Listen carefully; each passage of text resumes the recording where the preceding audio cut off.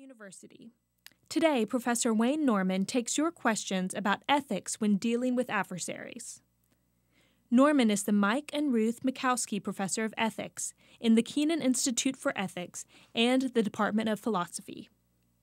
He writes two blogs This Sporting Life, on his casual observations about the culture of athletics, and Ethics for Adversaries, on, he says, how to play fair when you're playing to win.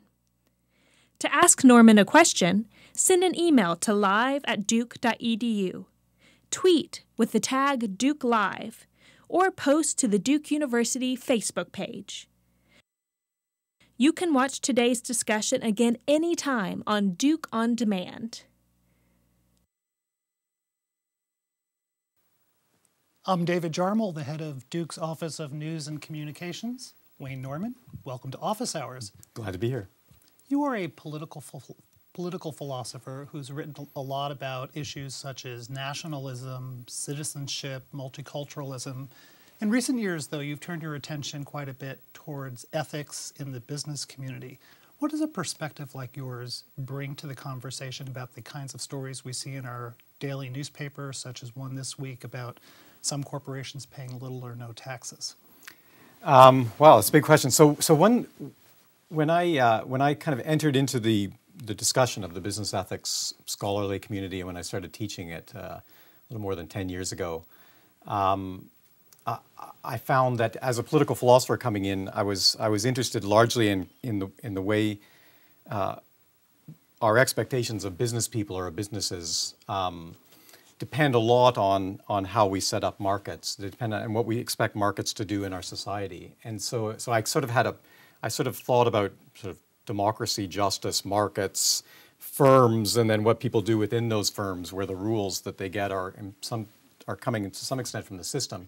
Now, I think a lot of a lot of people that were in the field and that do work in business ethics and that are kind of attracted to issues in business ethics often come the other direction. They think about what it is to be a good moral person, what it is to be an ethical person, um, what it is to be a nice person, and then how that translates when you're all of a sudden finding yourself in a situation where you're at work and where you're making right. decisions for firms. So uh, we end up talking to each other and and saying many of the same things, but I do look at it from a, from the from the point of view of what we're expecting of the business system in a way. Um, you've written that the business community uses a lot of phrases about the the bottom, the triple bottom line, or um, sustainability, corporate responsibility. Um, so those must come up a lot in your classes and discussions. Are those just words, or do they actually inform the kinds of conversations that you see unfolding in the business world? Yeah, that's um, that's a really good question. So what we're really trying to get at, all of these words, all of the ones you just mentioned, and uh, you know, I guess we could rattle off a few more. Did you say corporate citizenship? Um, and we and we keep coming corporate social responsiveness. I mean, we keep sort of coming up with new ones, and they're all really trying to get at a, at a similar idea, which is uh, what we expect businesses and business people to do, but I think in particular, sort of businesses in their main policies, what we expect them to do over and above what's required by the law. So we sort of recognize, yes, we want you all to comply with the law, but that's that's not really quite enough to be an ethical business, a responsible business. So these are these are different frameworks that people are trying to use to you know to sort of articulate what those obligations are but are. if I see a CEO on television talking about corporate responsibility, I mean, that's a that is genuine, but at some level. I, or, or maybe I'll, I'll rephrase that. Mm. I, I, an underlying idea that I know that you've wrestled with is how do we as human beings who find ourselves in a corporation or in some other setting balance what we learned as kids about being good people with the norms that we may find within that world and, and, and, and you're trying to help us think through how we do that? Yeah, I mean, I, I, I don't want to shoulder all the responsibility, but yes, it's a very complicated conversation. I think in part because, um, I mean, it, it, I think everybody. Eh, I, I, used to teach in an MBA program for a while, and and there's a, a, a, real sense that MBA students have because they've generally worked for a few years. They're going back to study. They sort of know where they're going back into, and there's a real sort of conflict between ideals and the real world. Um, and I think that comes up in part with those the different ways that we see our ethical obligations and duties. So we learn when we're when we're young. We learn, uh, and and even just sort of ethics in our everyday life has an awful lot to do with sort of cooperating, with helping people, with with not just pursuing your own interests, but with recognizing that you know lots of people want to pursue their interests, and so how do we cooperate in ways mm-hmm. that that make this um, possible? And in business, what we've done in the business world, but also in, in the political world, in international relations, in sports, is we, we've actually set up, a, an set up institutions where we actually don't want people to cooperate. We want them to compete. And we, we do that on purpose because we think that competition will you know, provide certain kinds of incentives or will provide, you know, will will will well, en- end up producing results that are better than if people just tried we to. We believe in competition yeah. in this country. Yeah. So, are you saying competition brings out the worst in us from an ethical standpoint, or? So, you know, it certainly can, but uh, but in fact, we we don't have to be we don't have to have competitive institutions in many of these realms where we have them. So we. Uh, you know, we've seen other examples in history where people don't have comp- competitive markets. They just have, you know, a bureaucracy that sort of decides and sets up factories and produces stuff. And we've right. seen what's what, how that how that doesn't uh, always work out as planned. Yeah. We've seen lots of political systems that don't have competitive elections where they just try to find a benevolent dictator. Um, and we've seen uh, we, there are other kind of physical, athletic like um, uh, forms of performance that don't involve competition. But we've but we've chosen in many cases, we know we've chosen we're going to have competitive markets, we're going to have competitive elections, we're going to have competitive sports, because these do give us benefits, even if they can bring out the worst in people sometimes, they also bring out the best in people sometimes. But right. all of this is kind of is a little bit different from what we learned about ethics and morality sometimes, um, you know, when we were kids or in Sunday school or in primary school or or even in more traditional yeah. philosophy yeah. kinds of courses and maybe we'll, we'll come back yeah. to that in a second but what I find so interesting is that you're you you have really latched on to this common tension, as you said, mm-hmm. whether it's in business or in politics uh, or with our kids' baseball team, that we have competition, which is good in many mm-hmm. ways. Um, we have our ethical behavior, the way we like to see ourselves in the mirror. But there in the real world, you come to the question of, well, should we pay these more taxes or whatever yeah. the issue is? So, how do you encourage students and others to, to think their way through that? Well, that, so that's um, Gosh, I wish I had a, if, if I had a concise answer to that, it might make my job a lot easier. Um, well, that's, so, that's the whole, so, why it's so interesting. So it's, one of the things you mentioned students. So I, am trying an experimental stu- course this uh, this term with uh, with some students who are up for it. Um, uh, a sort of keen keen bunch of students, and we're working through something together, which is really that problem of how do we think about is is there some way of looking at all of these what I've been calling deliberately adversarial institutions that I just mentioned, things like sports and, and business and politics. Uh, is there a way of looking at, and, and another one, for example, is criminal law, where, again, we don't have to do it in an adversarial way, but we, we sort of believe that, you know, prosecution and defense having their own attorneys who are fighting to win. And that justice, justice will emerge yeah. from this process. And the justice will emerge, you know, more often from that process than if you just had a, uh, a kind of inquisitor who listened to the listened to the evidence and made a right. decision. So so we're looking at all of all of these institutions and trying to find out whether there is actually whether there are very common kinds of of norms and principles that we expect of the players. So just to give an example, um, I think in, in many ways the easiest example is sports, where um, and the and the concept that we use, which is the analogous to those ones you mentioned about corporate social responsibility or, or corporate good, being a good corporate citizen, is the concept of sportsmanship. Mm-hmm. So we expect a person to be, we expect athletic competitors to be good sportsmen or good sports. Uh, so we expect them to follow the rules, but even to follow the rules when they could get away with it, or even you know not to break a rule when the referee isn't looking, or even in many cases to sort of follow the spirit of the rules, even when Right. You know, most notably, a golfer is supposed to report himself yeah. if he if he did something, even if nobody saw it. Yeah. And you shouldn't sort of flagrantly foul someone for no reason in a basketball. Yeah, and there game. may be some, there may be a case where you could do a deliberate kind of check or tackle of somebody in a particular sport where uh, you wouldn't get penalized for it, but you knew that if you did it in a particular way because of the position the person was in, you would injure that person, and so you kind of back off. Right. Um, even if that person is a star on the other team, that would you know where it might actually help you to win. So, so sportsmanship is is the way we talk about that in the realm of sports. And you know, business ethics is the way we talk about it in the realm of ethics. But the broad concept here is ethics for adversaries, which Yeah. in fact is the name Yeah. of, of one of your two wonderful blogs. And and it's this guiding idea of if of how how do you simultaneously have an adversarial Yeah. relationship but an ethical relationship. Um, uh, first want to remind our people watching the show that we invite your questions for Professor Norman, and you can send them in. You'll see on your screen a variety of ways, and we'd be happy to share them with Professor Norman.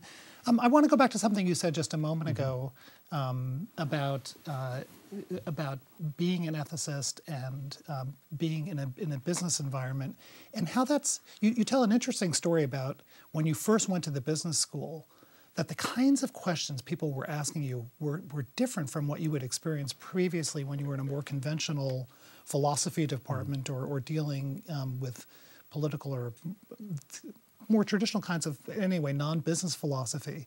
Maybe you could talk about that, of, of how people sort of approached your role and asked different kinds of questions. I thought it was fascinating. Well, so um, I'm not sure. I'm not sure exactly what you're referring to. So one of the one of the one of the um, one of the first experience I had was I had studied ethics as a student, as a graduate student for many years, and I taught it for, for several years before in a philosophy department before I went to a, a business school. And the and, and, and in a philosophy department, really, what you're interested what you're interested in is is trying to to just to develop and justify principles and theories, perhaps theories that that somebody could use in order to kind of think their way through a decision making process when they have an ethical problem. So, do we use something like utilitarianism, which tells us um, what you should do is you should figure out all of the possible effects of your different uh, decisions and, and, and different courses of action and take the course of action that would have the best possible results?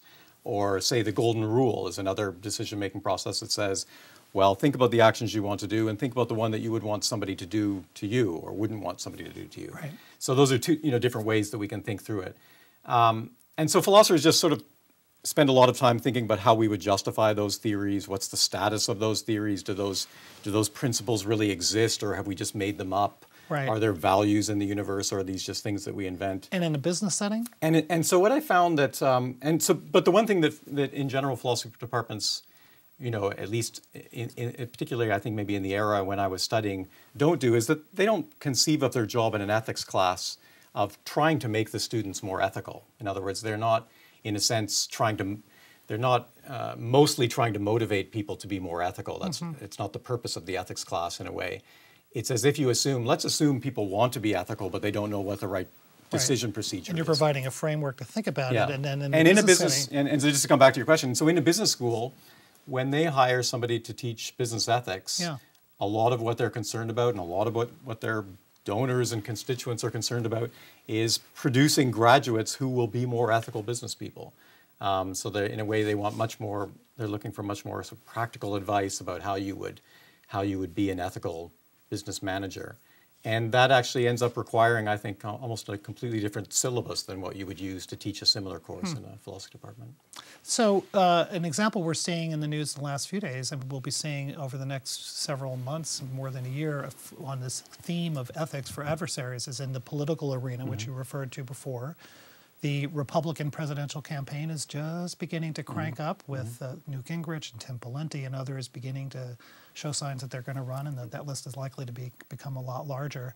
Um, you had something on your blog, maybe we could put it up on the screen, noting how political parties are need to compete heavily and often ruthlessly, but then they're expected after that process to come unite together, which seems to exemplify this theme about being adversaries but coming together. Yes. Maybe you could talk about that. Well, the, the first thing I'd like to say is that this, this uh, just a, a bit of background on this blog. This is the blog that, for at least uh, for the current semester, I'm sharing with the students in this class that I mentioned before.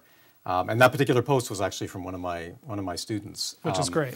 And so what we're uh, so the one thing that we're doing in the class at this stage in the class is that they've they've they're each doing individual projects where they're focusing on some different adversarial institution.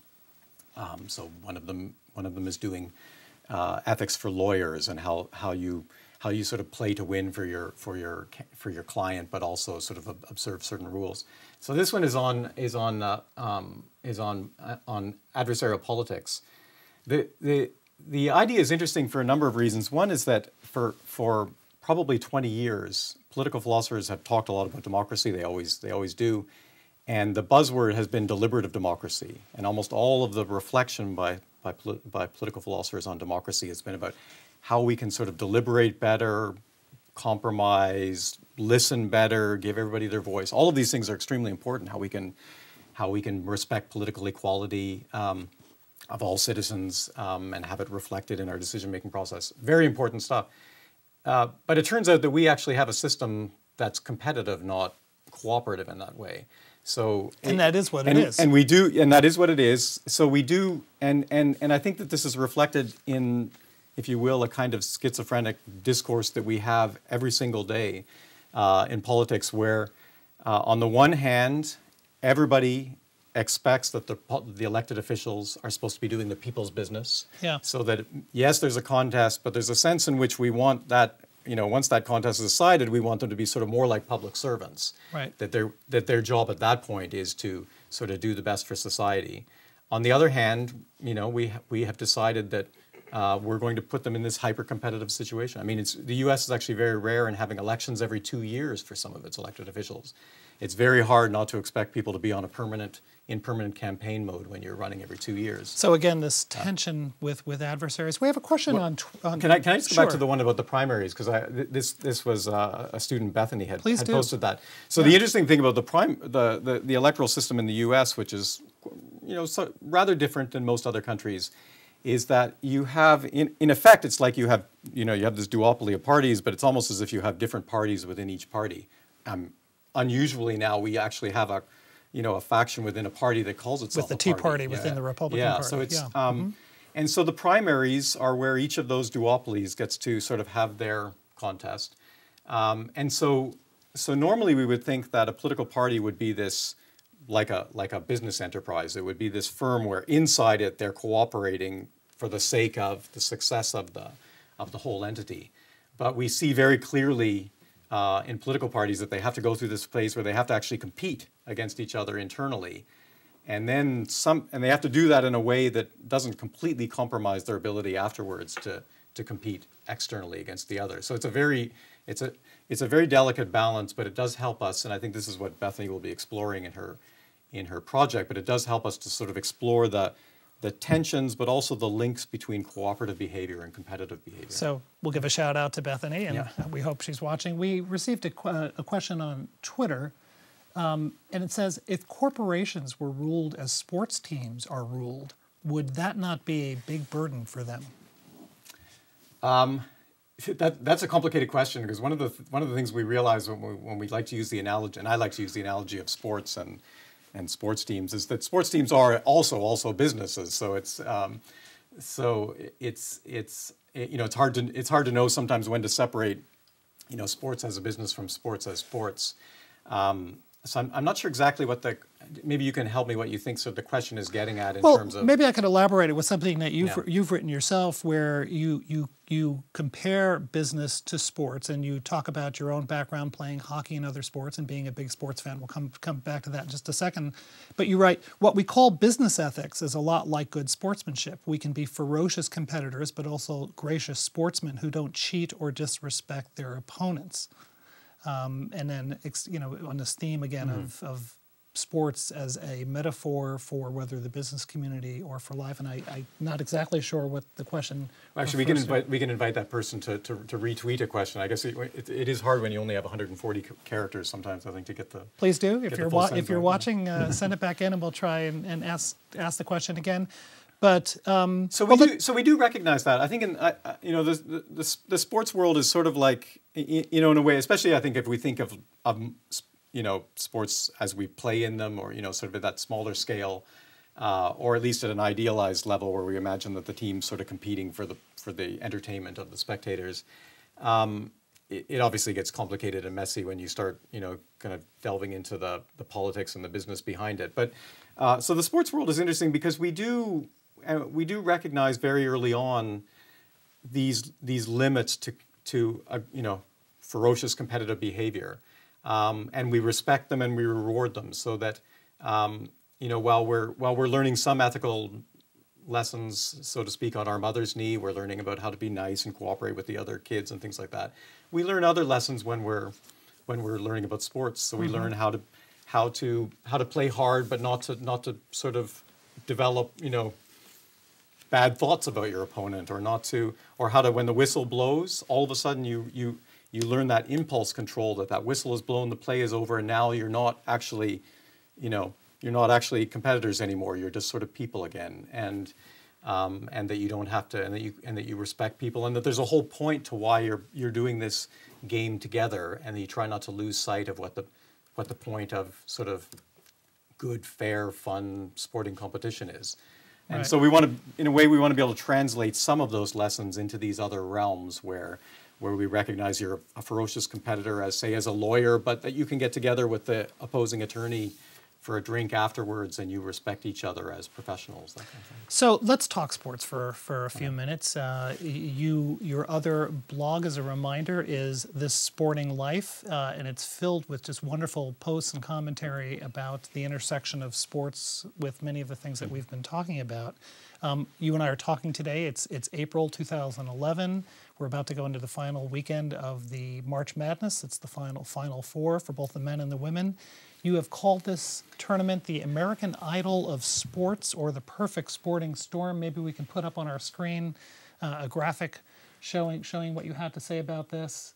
Um, and so, what is it about the NCAA tournament that you find so appealing? Yeah, so this this post comes from uh, last year. I was on sabbatical, and uh, and when I started up this blog, and and I've sort of have worked now through the entire sporting calendar and uh, and I did have rather you know rather fewer constraints on my time, which meant I could spend a little bit more time in the afternoon during uh, all of March Madness, sort of seeing some of those games and listening to all the chatter that goes on because I think there's probably more airtime filled with people talking about March Madness than there is with actual basketball games. Um, so I so I really sort of got, in, got it, was able to get into the spirit of it in a way that I'm, I usually I'm not because of other sort of teaching obligations and things.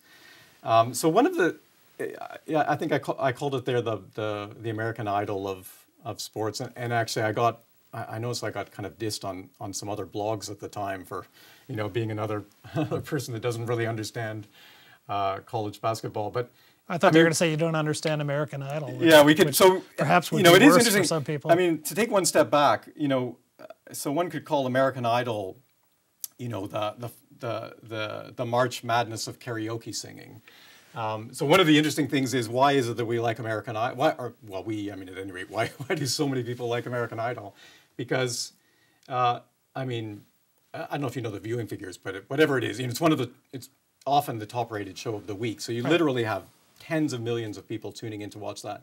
You could have, you know, name your best singers, name your best six singers in America right now, from you know Aretha Franklin to um, Bob Dylan um, and you could put them on for an hour on prime time, and you know you'd get PBS like viewing figures. So it's it's it. So the right. crazy thing is, why is it that when we put these karaoke singers singing covers in a in a competitive format, all of a sudden that becomes so much more. And you said in, in part it's because we can identify with them. Yeah, as we and, can as we can with the NCAA and, tournament. And we identify with people in sort of competitive situations. So this this sort of brings us back. So so we you know, we, we're not just listening to the singing and the performance, but we're watching this person, you know, trying to punch above their weight, uh, and we're kind of rooting. we, you know, we take a rooting interest in some of them, and that, and somehow this makes it so much more appealing than watching, you know, Aretha Franklin and the other five greatest singers of our time uh, singing on TV. So, and I think so. So, what what is it about March Madness? So,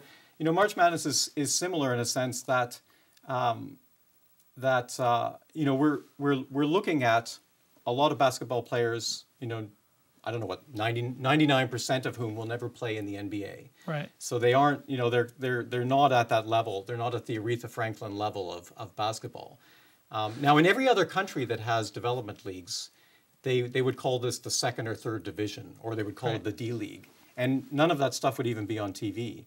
So it is interesting that we've found a way we've, we've found this formula for making development leagues, in many cases, more interesting to us than the big leagues. And I think that's partly the same reason lots of people are more interested in American Idol than in watching Aretha Franklin. That, that you, you know, you sort of identify with the struggle, you see yourself in their faces, You see, you know, your better self trying to do, you know, better than it can. You see the emotion of. So I want to ask you about some of the things you've written about on your, your blog, and maybe we can just get some some quick quick questions and answers because I found some of them really interesting. So one was about: is it better to watch uh, basketball and other things on on television or or live? Yeah, that's good. That's a good question. In fact, I'm I'm working through that now, and I I, I keep promising to do. You're, you're not flying to, down to Houston this I keep, weekend. No, I keep I keep promising to do a post on on on on what different sports are like live because I have I have written a lot on the way we broadcast different sports, and I think that some sports, um, I think the NFL in particular, both in game and some of the some of the shows between games, um, is amazingly well done. And and by by well done, I mean in particular it with the slow motion and the replays and the commentary. Yeah, but also in in you know it, it, it explains to us really what's actually going on in the minds of the competitors as they're trying to work out their strategies right. and execute them. Um, so that it doesn't look, in other words, we, we take away from sort of the randomness and the and just sort of the excitement of seeing what happens, and we, we we're able to better understand what it is that they're trying to do, why they're trying to do it, and in particular in this strategic situation where they know somebody's trying to stop them and they're trying to kind of outsmart them. Right. Uh, now, lots of sports, the way they're broadcast, I find, um, and I think hockey and soccer are the worst ones, that the broadcasters do almost nothing to sort of explain what's what's sort of, you know, what what the tactics, what the strategies, what's going right. on, and we just see a kind of random excitement. I think basketball varies. Uh, there are some very good broadcasts, and others it's so easy to watch basketball if you're if you're kind of rooting for one of the teams and get excited just because right. there's so much. So different there. different sports, different viewing experiences. But yeah. let me let me go down some of the others yeah. on the list. Uh, another thing you you wrote about I thought was quite quite interesting was about how and this is probably something we'll see uh, at the end of the tournament um, is players thanking God after they've won or before the game, you know, calling on God for their team to win. And you, you had some thoughts on that. Um, yeah, it's a, it, it's a, you know, it's a, it's um, I mean, it's an, it's an interesting and understandable phenomenon, um, and I think it's very genuine. Um, I think you know people, you know, there are there are athletes who who believe very strongly in God who who have kind of used that belief for inspiration in lots of ways. But how about the, but it's very, the but it's very, of that? But it's very, you know, it, it is it, it always seems somewhat odd in, you know, when, when you're talking in a competitive situation, especially in these ones where we call it uh, zero sum competitions where basically you have somebody wins that means somebody else has to lose. Some right. some kinds of competitions you know you can all end up sort of being better off. But in this case somebody wins somebody loses. Um, and so it, it, you know it is it is sort of odd to think that your your god is kind of intervening on your behalf especially when your you know your opponent has other people who are who believe in the same god and who are praying to him right. or her. Um, so it's so so that I, I always do find that a bit peculiar. And i think it partly it's sort of not in a way not recognizing how different you know competition is from other kinds of things we do in life where where other things we do in life you know everybody can kind of win sometimes. Yeah. Um, especially if you if you kind of live a virtuous life where what you're doing is cooperatively helping others to sort of succeed. Right. But in sports it's a, it's a little bit different. You know well, if you win somebody has to lose. that might be a good time uh, wayne to go back to the question. We have gotten a follow-up on okay. twitter and i just want to remind everyone watching that we invite your questions as well um, so, as you recall, we were talking about the the uh, juxtaposition of business and of sports as a model for that. And so, here's the follow-up question, which is: I find norms of sportsmanship, for instance, very constraining. Are they too constraining for business? So yeah, so uh, you know, I think that's and, and the follow-up oh, to the follow-up. Oh, okay. Uh, or corporations want more than to win a game; they want to survive in a dog-eat-dog world. Yeah. Yeah, those are those are both great. So the the um, you know the the so so one of the things that we do with with uh, with markets and with sports is that we have a lot of rules and regulations, and we have a lot of referees. Um, and in both, but in both cases, probably even more so in markets than in sports, the referees can't see everything. Um, and one of the complications that we see in the world of big business is that there's a lot of interaction between the referees and the players. Um, I think if we were talking about sort of the GE, the GE tax, uh, tax non, I was going to say tax evasion, but that wouldn't that wouldn't be fair. But the, the the issue right now of GE not paying corporate taxes legally because they found you know loopholes or you know tax incentives and that sort of thing.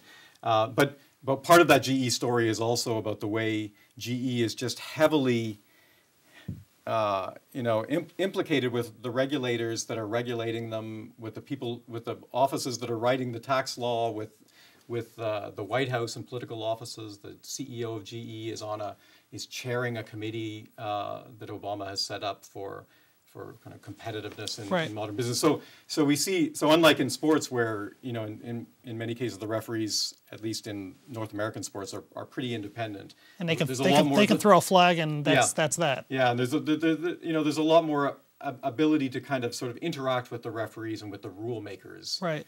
for particular players in business. So that's what, that's kind of one of the differences there. I'm not sure if that that, that doesn't quite address the the question of the of the um, of the of the tweeter. I mean, one of the it, it's true that one of the you know one of the differences about sports is that especially I think you know well-paid professional sports is that you can lose the game or the championship and you walk away and you you come back another day or what have you. But uh, you know we, it is worth remembering that uh, while business is like a game. Um, it's a you know it's a it's a very serious matter and with Right. very serious repercussions for all of the people involved in this you know this idea of sort of in some you know sectors in particular where it's a kind of dog eat dog world where you actually you know losing that game means you know perhaps losing everything you ever had if you were an entrepreneur or Right. losing your job or what have you Right. So let's take an email question. We've uh, received an email from John, who's here in Durham, North Carolina. And John writes I am involved in a local youth sports program, and we have been struggling with a question involving the behavior of the spectators, in our case, mostly parents. We strive to teach good sportsmanship, but there seems to be mixed messages when it comes to how we as parents want our youth to act on the court or field and how parents act as fans. We don't want parents booing, heckling the opposing team's players, or arguing with the referees.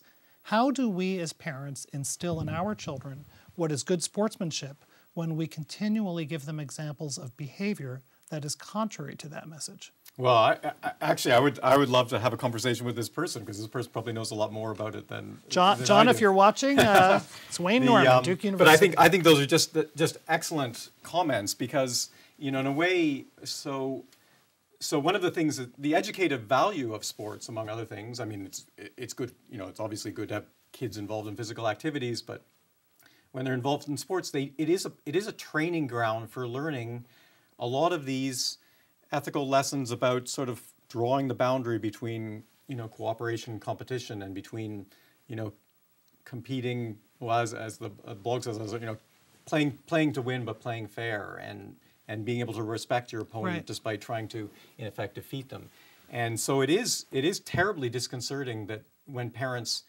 have have lost what that context is and you know and, and i mean you know it's just a fact that you can see in opinion polling that just a, a vast a huge percentage of of american parents are deluded about their children's um, uh, probability of being able to get into high paid professional sporting leagues Right. like a ma- like a mass like 40% think that if their kid just worked a bit harder But what you're Um, saying is as a philosopher and, and an ethicist and someone who thinks about these things is that if mom or dad is out over there on the sidelines freaking out and yelling and screaming and being, being abusive either to their. Yeah. team or to the other team, that actually there's some really serious business going on there in Yeah. terms, in terms of the moral I mean, they're they're in effect modeling a, a kind of behavior that their that their child will carry into their their world, their life in, in business or their life in politics or their mm-hmm. life as a lawyer.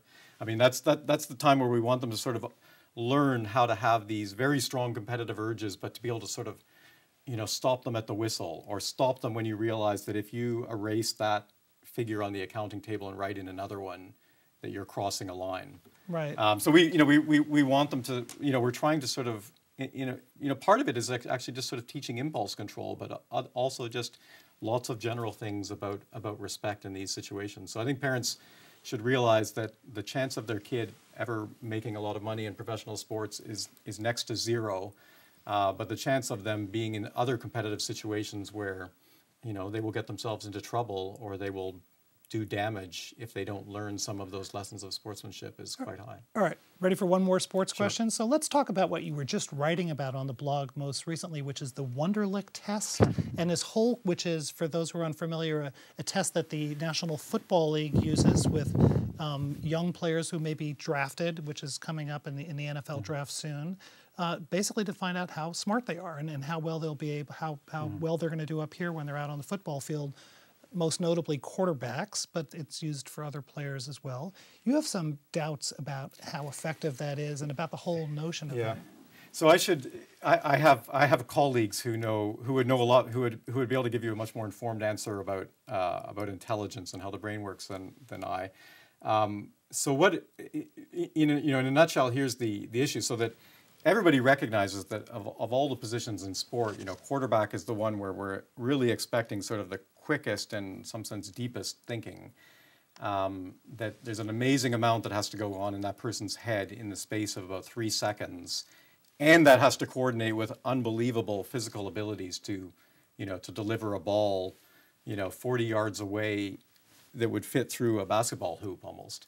Um, and to do that, understanding you know the directions of 22 different people who are moving around them. So we recognize that an awful lot of processing has to go on very quickly in the head. So, so what have what have uh, teams uh, done to sort of figure out whether prospective quarterbacks are? They, they give them an, an, IQ test, and uh, so I'm not, a, not from so I'm not an expert in anything uh, that I'm going to say from now on. So. So one of the things that they find is that that, I, that those IQ scores that come from this Wonderlic test aren't a, a, you know a perfect predictor of how good a quarterback's going to be. So two of the most successful quarterbacks of all time, Brett, Favre and Dan Marino, had very low scores in that. And um, and one might even think that sometimes just sort of hearing interviews with them that they're not that they don't seem And super smart in that on the field, they were brilliant. And yet they were they were brilliant in ways that you know clearly involved a tremendous amount of cognitive processing. And I think one of the things that we learned, this is what I don't really know about, but I'll, I'll pretend.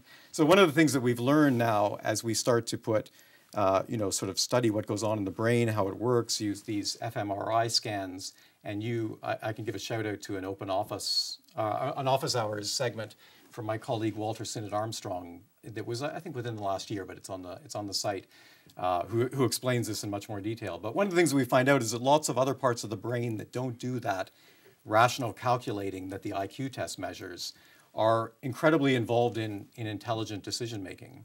And so, you know, Brett Favre's brain, parts of Brett Favre's brain are humming and processing a lot faster than your brain or my brain can do. Right. And that's why he was so successful, even if, you know, that rational calculating part might not Right. have been so successful in the test. So uh, I was going to move on, but we've received a really interesting email question from Jeff, and so we've been talking a lot about about sports. And not about Jeffrey Immelt, by the way, the, G, the CEO of GE, I hope. Uh, no, I don't think it was that, Jeff. But it is it is an interesting question nonetheless, and it's it's it's talking now not about sports as a metaphor for business or other areas, but about the pressures within sports itself, notably within within higher education.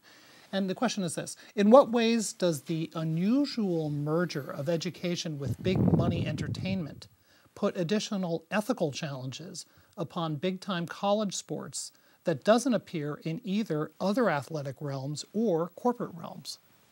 Yeah, that's so. That's that's uh, that's such a great question. I, I'm not sure whether you, you- you should actually have somebody on here sometime that talks about uh, college sports because the you know the NCAA is a, just a unique institution in the world in the way it's We- tried we, to. we have. You have okay. Duke's Charlie Clotfelter, has, of course, has just come out with a, a book on exactly that Yes, yeah. subject. And um, Um, so so so there anyway there are a lot of people that know a lot more about the you know the NCAA but it is it is a fascinatingly unique institution and so one of the things that that we that the NC, NCAA you know one of the sort of circles it tries to square is between you know something like amateurism and something like professionalism and and uh, you know an insight of a, a colleague of ours in the law school Kim Krawiec she sort of made me see, see this better that there there there are a lot of things that we might call uh, taboo markets in the world um, markets for organ donation and tissue donation, um, for surrogate motherhood.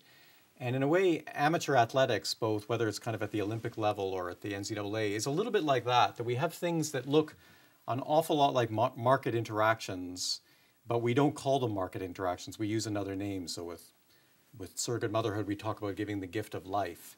You don't talk about selling your baby and with and so the NCAA require you know sort of survives in part because we're able to sort of imagine that there is a lot of amateurism going on that it's not these aren't professional that they are first and foremost student athletes. yeah and that and that's why and going back to the sort of American Idol of sports that's that's that's a huge amount of why it is that we in America watch college, we watch development league sports as big time sports on TV and in the stadium in a way that you know nobody does in other parts of the world when they're looking at sort of you know third division soccer. Mm-hmm. Um, so, but but there's a you know all, all of the in all of these sort of taboo markets where we have kind of market like interactions going on, but we don't call them that. You know there are there are sort of you know there's some illusion, there's some fudging, there's some contradictions. Um, it, it, doesn't mean that it, it, doesn't mean that it's not good to do that. I mean, it may be that by having by not by not having an open cash market for organs, we can actually get more organ donations than if we did. Uh, similarly, we were able to provide these sporting experiences for a, a, vast range of student athletes, not just the ones in sort of men's football mm-hmm. and basketball, uh, that we would, might not be able to do if we didn't have sort of these this uh, kind of somewhat somewhat magical way of speaking about it. Right. But it does it does raise a lot of a lot of complications that I think lots of us are familiar with. Wayne, I want to close with a couple of questions about your, your life here at Duke. So, as we've been talking for the last several minutes, you have extraordinarily wide ranging interests. We've been talking about philosophy, about ethics, about economics and business, about sports. You also play guitar in a band uh, and other eh, just very wide ranging interests. Um, do you find that interdisciplinary, wide ranging view to, to be a good fit with what you've been doing here at Duke? And maybe you could just briefly describe that. Yeah, I'll, I'll have to be careful not to look like I'm doing a PSA for uh, for for Duke for, but uh, but I will, I will. So so uh, every university, uh, and I've taught at, at several universities. Every university I've ever been at has spoken the language of interdisciplinarity over the last 20 years. Um, it's a kind of buzzword in academia and everybody recognizes that at, at some level it's obviously useful. You, you, it's sort of crazy to have people in different buildings and different departments who are working on very similar things where if they put it together, they would get something more. Duke is the only place I've ever been at where they, it was, it was very much a conscious strategy to do a lot of very specific things to encourage those people from those separate buildings to, to work together. Sometimes what they've done is set up things like the institute that I'm in, the Kenan Institute for Ethics, where you know, people who are in different departments gather even, you know, physically uh, to, to work on some of the same things together. Um, and so, so I. But you're also in, in, the philosophy department. Yeah, I'm in the philosophy department. Mm-hmm. Uh, and everybody, everybody here is in some department or other, but many of us are involved in these kind of interdisciplinary institutes or, or various kinds of, or we, or we, you know, Duke will encourage you to teach a, teach a class with a colleague from another department where you have students from both departments, um, that kind of thing.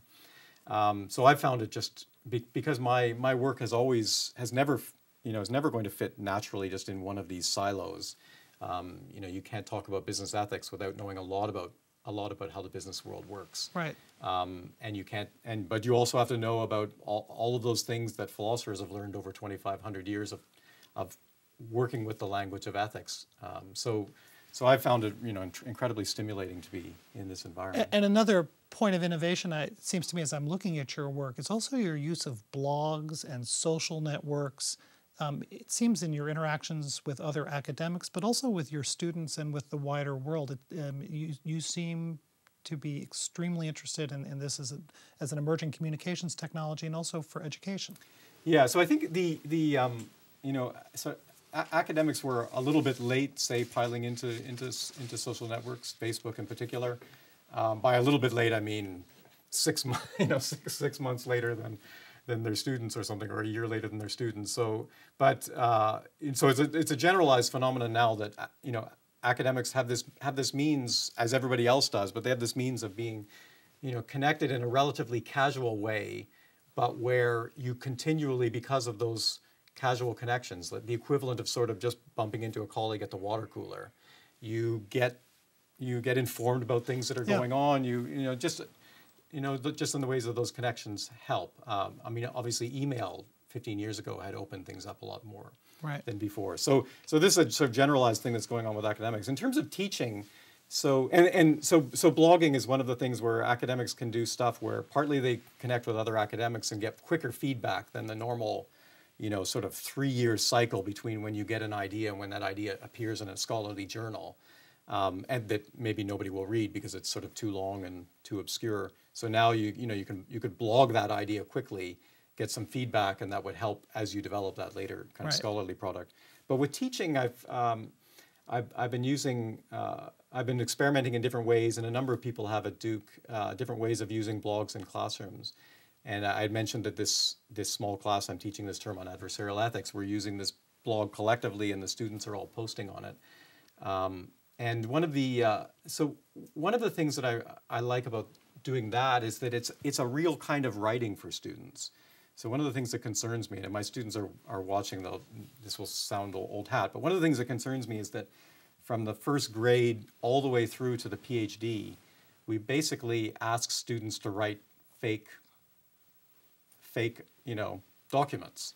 They're not really, in some sense, written for anybody. They're, you know, they're written for a professor, and you kind of know already that the professor knows more about this stuff. So you're you putting do. a plate glass window on that process. And, and but also you're, you're you know you're all all writing that it, so I, I think that somebody can go all the way through that process and, and forget that the whole point about writing is that you're you're envisaging a, a certain audience or a certain kind of person that currently has a set of beliefs and you're trying to inform them about something else that they don't know or trying to get them to change their mm-hmm. views about something. And that so everything is about how you communicate to them. It's not about reporting what's in your mind. It's about thinking what's in their mind and thinking about how you might want to sort of help them change them. And so so so doing a doing a blog post for a student on say these adversarial ethics topics is different from if i ask them to to send me which i've often done in the past send them ask them to send me a memo by email the morning of the class Right. about what they thought of the readings Right. and then they'll say okay here's they'll report here's what i thought Right. this is what i found interesting Right. well but now they have to say what what you know what might you find interesting or what might you not have thought about before that i'm going to kind of inform you about Right. Well, as we saw earlier with uh, on the screen, some of what they're writing is spot on and really interesting.